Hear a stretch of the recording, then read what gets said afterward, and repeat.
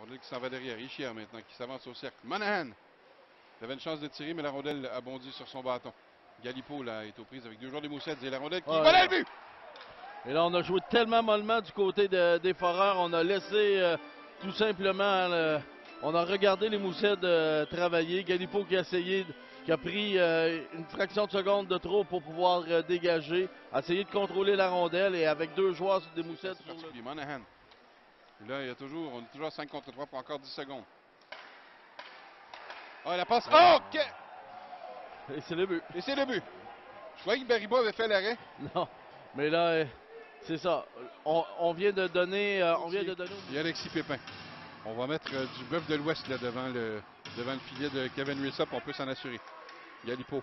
Ah, passe qui a été coupée par Richard et euh, Galipo qui tente de récupérer sa bourde. Mais là, Richard qui va glisser la rondelle dans le filet. Et avec 2 minutes 4 à faire, on peut à peu près dire là, que le- celle-là est dans les livres.